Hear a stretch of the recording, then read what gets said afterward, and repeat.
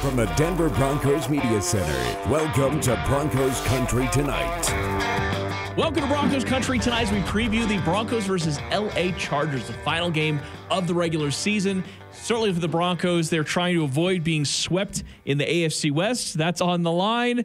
And uh, yeah, I mean, you add one more win to the season. I guess it's uh, a little bit better than four. Five sounds a little nicer. I don't know.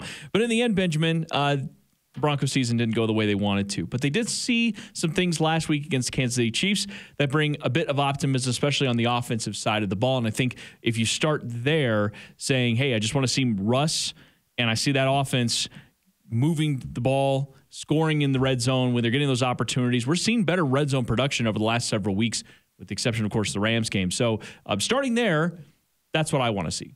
Yeah, I, I want to see them continue to look like a professional football team on the on the offensive side of the ball. You know, I didn't feel as disjointed. Uh, Just not was calling the plays, and uh, obviously you had uh, uh, you know Jerry Rosburg in command his first game as the interim head coach, and it, it it didn't feel disjointed. It felt like they were you know like they were a pro football team. They they kept pace with the Kansas City Chiefs for the most part.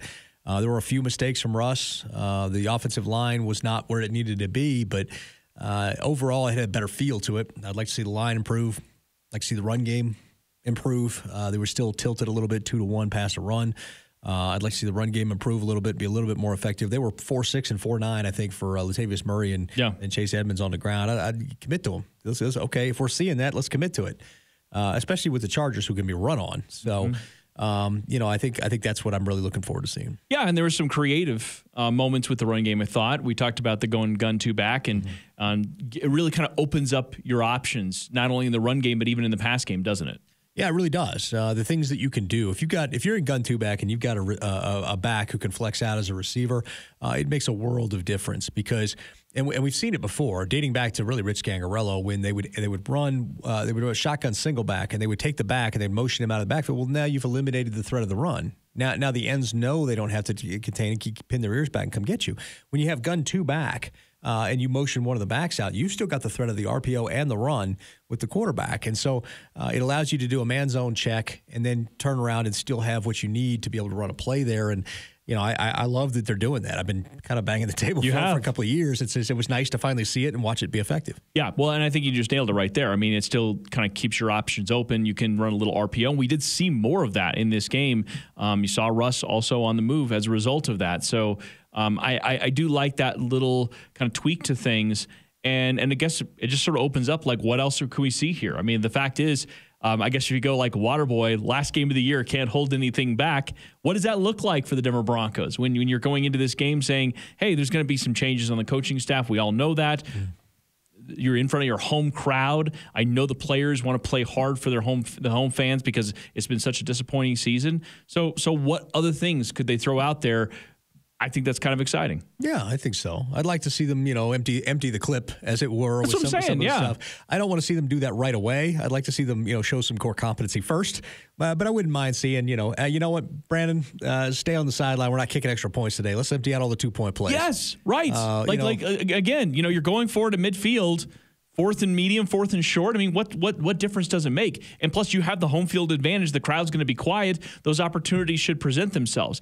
You know, and we, I mean, these are things we've been talking about maybe for a little while mm-hmm. with this team. It's like, hey, you've really got nothing to lose at this point. You can be uber aggressive, and what's the outcome? You're going to lose another game. Okay, well then that's what it is. But the fact is, in front of your home crowd, I think they'd like to see you going out and showing a lot of.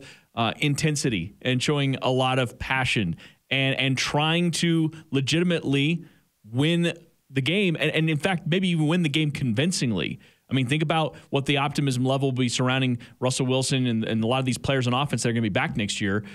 Think about that part of it. And, and when you, you go into the offseason, and I guess maybe that, that plays well for the players, but I think for the fans, if nothing else, that'll play huge. Yeah, I, I agree. And I think the other thing I want to see is Montrell Washington.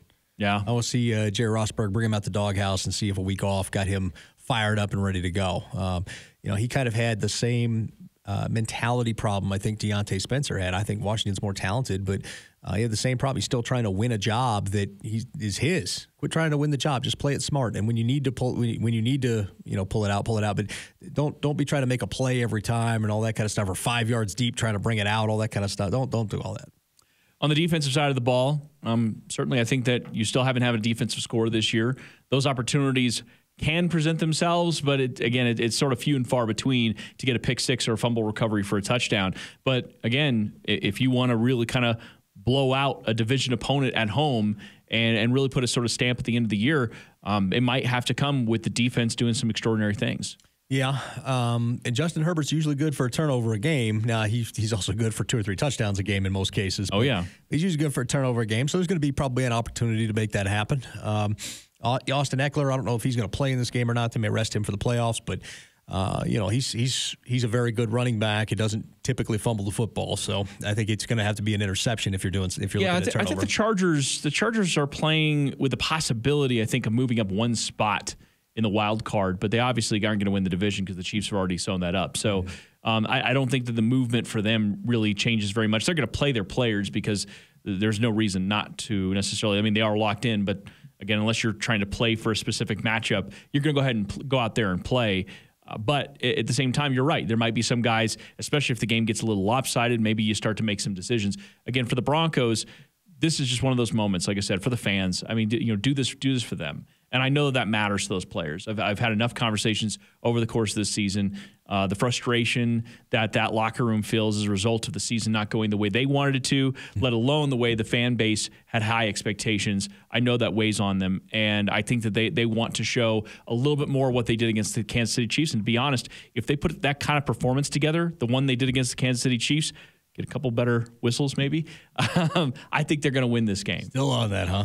I listen, man, I watched it again this morning, and it, it it still blows my mind. Like a couple of those calls, there still, were some, there were some still frustrating. And again, it listen, I, I, oftentimes subscribe to if you're really complaining about the refs afterwards, it's probably a bit of a loser's mentality. Right. But still, it's hard not to be like, okay, well those are momentum changing moments, right? I mean, Russell Wilson with his arm going forward, mm-hmm. you were you're basically right there in field goal range. Right. That could have been a, a massive swing because the Chiefs completed a pass, which by the way I did think was a completion, um, and and they got in field goal yeah. range. They ended up having it blocked, but um, that one, the Courtland Sutton one, I, we're not going to argue that, but you know the Courtland Sutton play, uh, there was just there was just a few like moments. It was like ah man, that that changes things. Mm-hmm. But again, you're gonna have to find a way to beat the Kansas City Chiefs um, coming up next year because that uh, ship has sailed. Yeah, uh, they they had their opportunities this year, came close, but uh, couldn't quite pull it off. So get the Chargers, don't get swept by the West, and build some momentum for but next year. That's big, isn't it? I mean, don't you think? I, I think so. I think more about uh, for me. I'm like give Seattle a lower pick. I hope. You know. Um, yeah. But, I mean, we're know. still top five. I mean, at this point, it's yeah. You know, what are you three right now? I think that you're you're hoping lower, but yeah. It's it's it's almost inconsequential. They're going to get a blue chip player. They're going to get a very talented player there.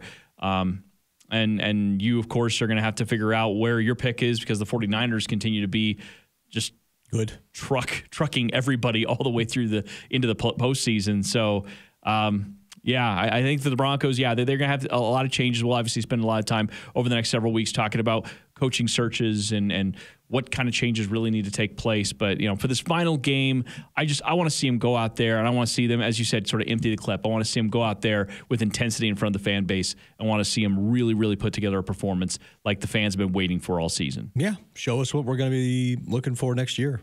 You know, show us show us what we got to look forward to. Absolutely. All right, for Benjamin Allbright, I'm Ryan Edwards. Thanks for watching Broncos Country tonight.